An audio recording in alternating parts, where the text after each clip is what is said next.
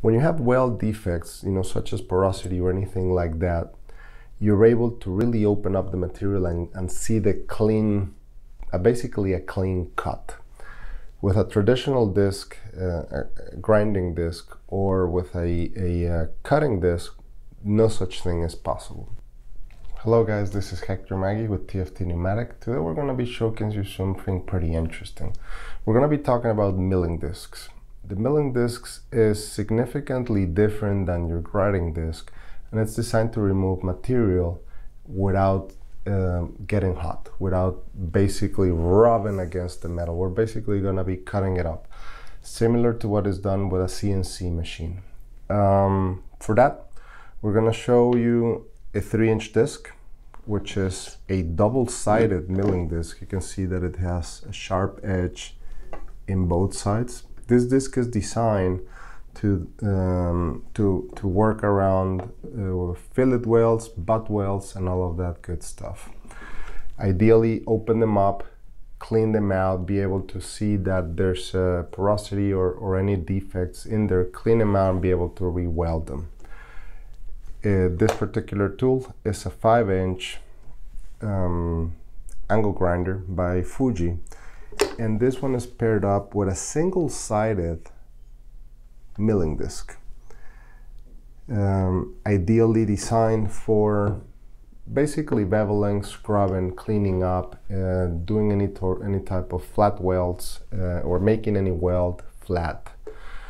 Um, we will also be showcasing a 5 inch double-sided disc it's uh, significantly different than your traditional disc. One of the things we will be doing is we're going to be comparing them with a cutting disc. Um, let's get right to it. Basically, the benefits of a milling disc is there's no smearing, there's no um, need to be changing the disk every 10, 15, 20 minutes. The disk is estimated to, la to last uh, 200, 300, up and up to 500 hours. They can also be resharpened. Uh, we do that in-house. It's all done by TFT Pneumatic. We send them back to the same CNC machine shop that makes them originally. And uh, you basically get an, a brand new disc for another round of hours. That can be done up to seven up to seven times. Um, depending on the size of the disc is going to be the lifespan. You know, a, a smaller disc is not going to last as much as a, as a bigger one does. And that's just basically because of how many times the, the disc is turning, right? And how many teeth each one has. Mm-hmm. Um, so We've understood now that we have a single-sided milling disc and a double-sided milling disc. The single-sided is designed for uh, beveling and, and flatten out welds or scrubbing. The double-sided is designed to do butt welds and fillet welds. Um, it can bevel and do all of that uh, good stuff, but it's really designed for, for butt welds and, and fillet welds. What we're going to be showing you now is, first of all, the 3-inch Fuji angle grinder FA30X 3F paired up with the double-sided milling disc. It's a 3-inch disc and we're going to power it with a 90 psi compressor. The, depending on what you guys are going to be using, whether it's TIG, whether it's MIG, uh, doesn't really doesn't really affect much of, of the demonstration part. We're going to be basically simulating that there's a TIG weld right here. We're going to be just basically opening it up. And uh, you guys are going to be able to be real close and see exactly what the the profile looks once it's uh, open. So come on close check it out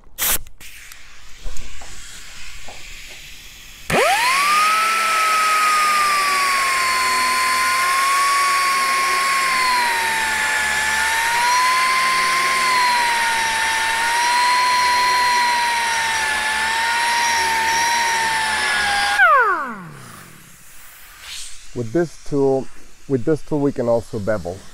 So it's particularly good for, for that.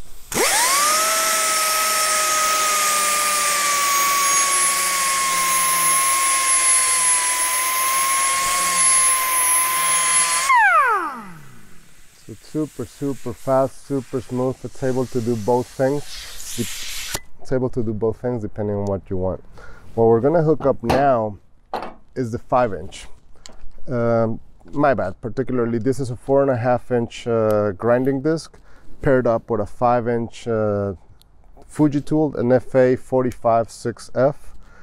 And uh, this, the difference between this one and that one is, as I mentioned before, that this one is a single sided disc. It means that it just has the sharp edge on one of the sides. And this is designed to either do, you know, uh, bevels or just remove uh, flat surface. Let's say you want to bring down one of those fillet welds or butt welds.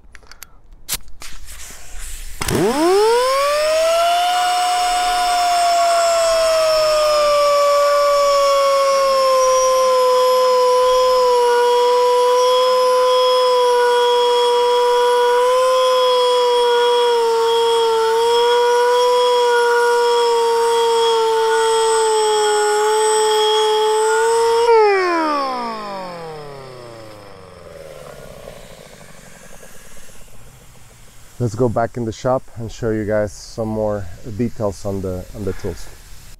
It can be they can be used on traditional pneumatic or electric grinders. For the case of the four and a half and five inch we have a 12,000 rpm which is the ideal uh, speed for them whether it's a pneumatic version or a air version or a uh, electric version my bad and um, for the smaller one, it's typically easier to, to run them on, on uh, pneumatic tools. Why? Because if you were to run a three inch disc in a tool this side with such a large angle head, you're really gonna get very little cutting material. Um, basically, by enhancing the lifetime of the disc, we're reducing the cost of, of operation. Just think of those five minutes that it takes to switch out one disk from another. You know you have the the the operator running the tool say 10 15 20 minutes whatever. Then boom he's got to take a break. He's got to take off the disk put it back on again and that you know may translate into a water break a restroom break or you know a, a general time with no activity on the on the work piece itself by having a, a traditional tool that is that is uh, so efficient, you do not need to take as many breaks. Um, one of the, the of the other important things about the tools is the low vibration, and um, they're basically designed as a as a CNC machine. You know, they're very precise. They're very uh, very well made. There's no vibration. There should be no vibration when using um, such a tool. Um, the main benefit really is that it's classified as a perfect weld preparation. We're not embedding any abrasive into the material, we're basically cleaning it off. We're not rubbing, we're not smearing, we're just basically shaving off the clean material. When you have weld defects, you know, such as porosity or anything like that, you're able to really open up the material and, and see the clean, uh, basically a clean cut.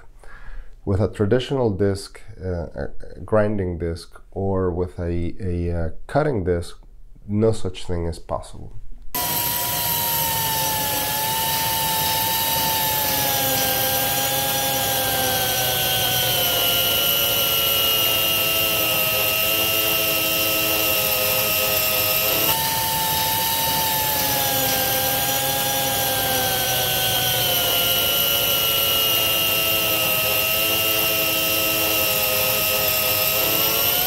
Recently, OSHA has made some interesting uh, announcements about some of the more widely used um, discs out there.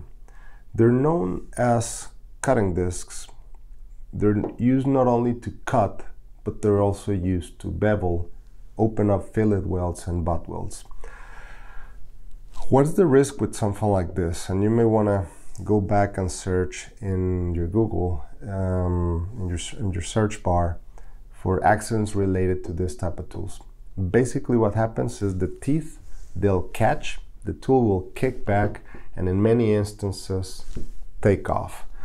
whether that's with your hand in front of it or let's say inside a hull of a ship that the tool boom boom boom hits and and basically there's cases there's one particular case uh, widely widely known where there was a, a tool that came loose. It cut somebody eight times you know all over the place before actually cutting the cord that powered the tool.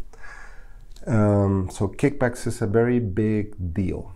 Uh, a cutting disc should not be used on a on an angle grinder. You know there's there's really no room for use of what is known as a circular saw cutting disc on a angle grinder. Bottom line. Um, these discs have to have a guard that is self-retractable and uh, that basically does not allow for a cut to be to be to happen in somebody's hand. Um, this disc, you know, the milling disc that we offer at TFT Pneumatic basically is a disc that will not uh, have a kickback. It does not produce any type of kickbacks. You're able to, to cut, um, bevel, to, to, to work the piece in many different ways without being able to get that disc stuck and make it kick. So something pretty impressive, something very unique, and um, definitely a very good tool for somebody that is making large aluminum pieces and that wants to, you know, either uh, do a surface preparation, a surface of welding on them, and um, to clean off the the weld, open them up, and um, act as a perfect weld preparation. The time that it takes to do a single job out there, you know, let's say that you do your work, the piece was not clean the, the base material was not clean. You're doing that well. It takes you know many times hours to do to do a large path, and um, just to come back and, and notice that since you did not use the proper equipment to open it up, that root weld, uh, that fillet weld, you know, it's all filled with with um, with uh, porous or it's just has welding discontinuity or anything like that. Regardless if you're using a TIG welder a MIG, it doesn't really matter. You know, the most important thing about a weld is to have the right material uh, uh, and have the right tool to prep that material. Surface preparation, you know, when it comes to the weld, you know, the weld preparation is second to none. It's going to make you able to do that job right the first time. Um, provided your welder is your welding machine is set to the proper to the proper um, numbers. Anyway, for TFT Pneumatic, this is Hector Maggie. Thank you for watching.